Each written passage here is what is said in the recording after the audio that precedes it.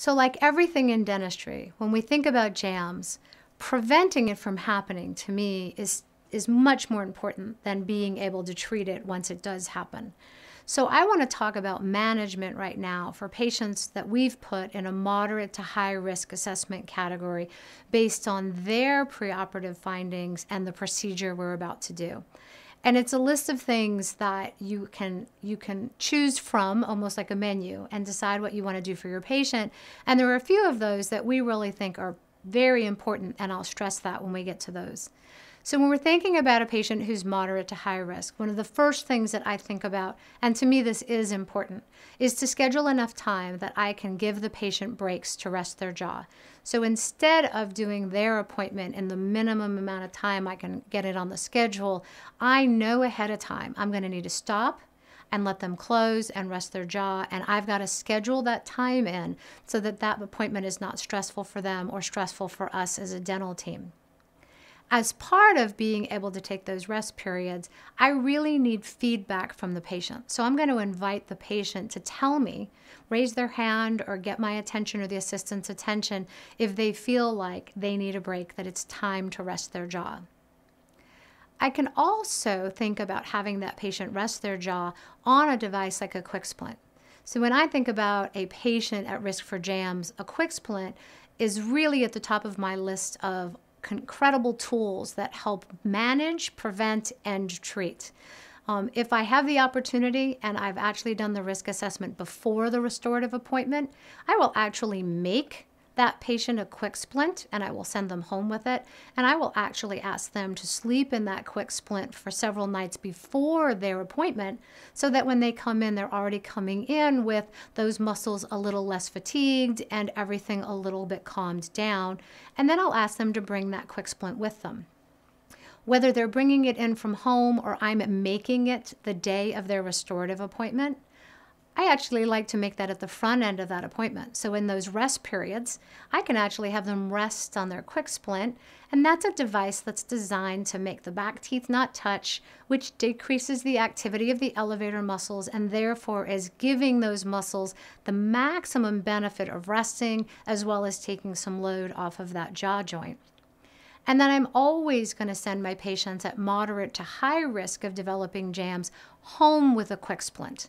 And we're actually going to give them some specific instructions that we can get along with the QuickSplint that tell them to wear that device as much as they can in that first seven days after the appointment, to then go to nighttime use in that second week, and part of that for me will be we're going to invite that patient back. We're going to be intentional about recalling them for a seven day post op appointment. Because one of the challenges of JAMS is that when patients develop it, they don't call their dental office and come back to see us. Most of them end up in an urgent care or at an ER at their primary care physician. They get caught up in that system of trying to get rid of their symptoms. And instead of speed to treat, by the time they end up in, back in the office of the dentist or a TMD or, or a facial pain specialist, we now have a chronic problem. So I want to be intentional. Another way to be intentional is to follow up, have a post op call. So whether you make that as the as the dentist or you have a member of your team call the patient the next day or two days out and just check in with them and ask how they're doing and even ask some of the same questions you did on the JAMS assessment questionnaire to find out whether or not they're starting to have any early symptoms of JAMS that gives us that chance to speed to treat and get in there efficiently and effectively there are some other things that I do on my list. One I want to touch on is going to sound counterintuitive, but it's very important. And that's for patients at moderate to high risk of JAMS, we don't want to work with a bite block.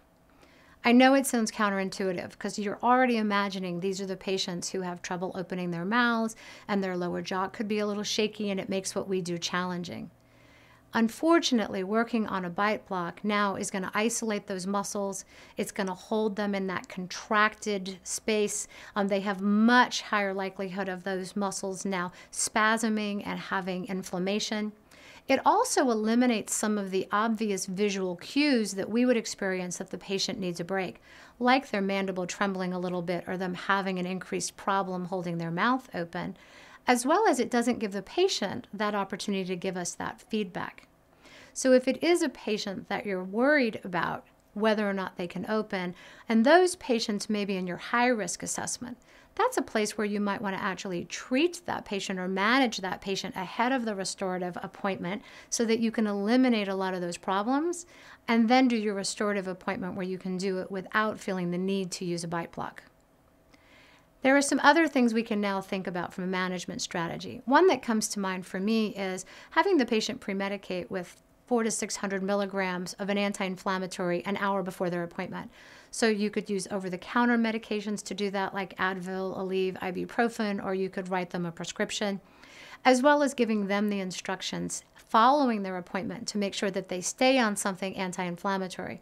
And I mm-hmm. do know that that will also manage some pain, but we really are thinking about it from an anti inflammatory perspective.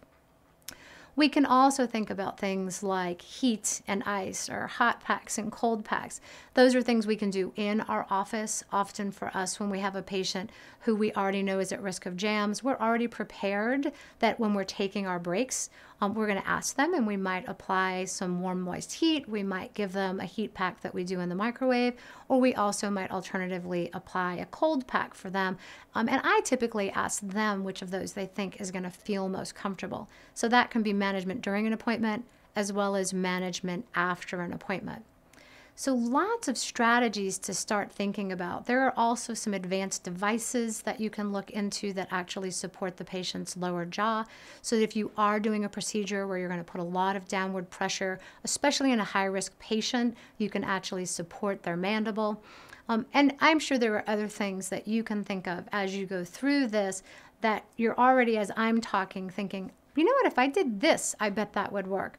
You know, Often, if a patient has an occlusal appliance, you might invite them to bring their appliance with them, and they can actually put their own appliance in during those rest periods. So you could see we could kind of brainstorm about this. But I want you to definitely make sure that once you know the risk assessment, you're thinking about have enough time. Make sure you've factored in rest periods. You've factored in the ability for the patient to give you that feedback. You're going to send them home with a QuickSplint and instructions for how to manage things over that first 7 to 14 days after the appointment. And we're going to make sure we have a way to check in with that patient so that if they are developing any early symptoms, we catch it as quickly as possible.